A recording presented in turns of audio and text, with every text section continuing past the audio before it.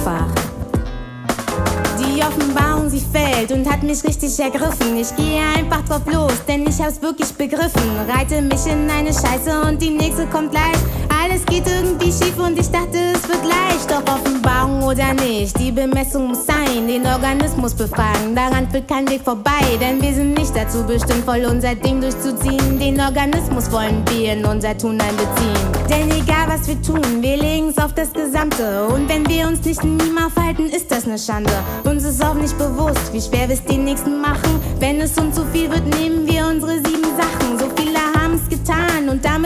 Erreicht. Sind ausgestiegen und ihre Situation sieht bleibt leicht. Doch wir sind das Problem und nicht der andere schuld. Erst wenn wir das erkennen, wird das Ende wirklich gut. Es ist so einfach, in Christus drin zu bleiben. Wir machen es uns viel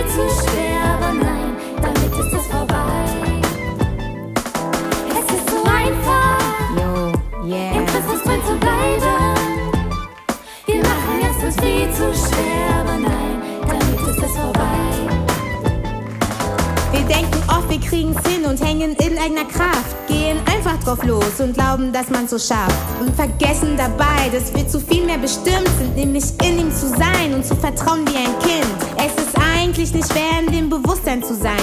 Doch wir machen's uns schwer, fallen immer wieder rein. Lassen uns vom Feind belabern, statt im Wort drin zu sein. Wir verlieren die Sicht, verschmutzen uns, sind nicht rein. Doch es gibt einen Weg, Dilemma zu entfliehen. Unsere Schwachheit erkennen und vor ihm kapitulieren. Ja, so kennen wir Umtun, Busse und denken mit. Und erkennen, wie schön es ist, wenn wir in ihm Es sind. ist so einfach.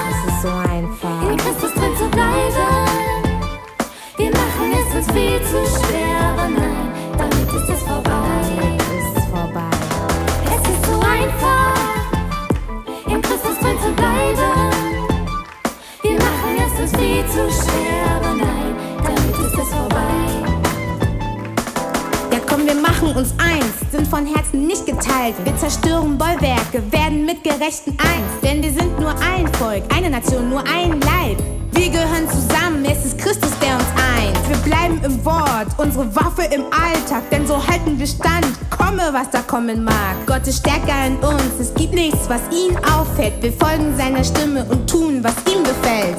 Christus in uns, all das zu tun. Wir können uns zurücklehnen und einfach in ihm ruhen. Rechnen nicht mehr mit uns, diese Zeiten sind vorbei. In Christus sind wir vom Bösen vollkommen frei.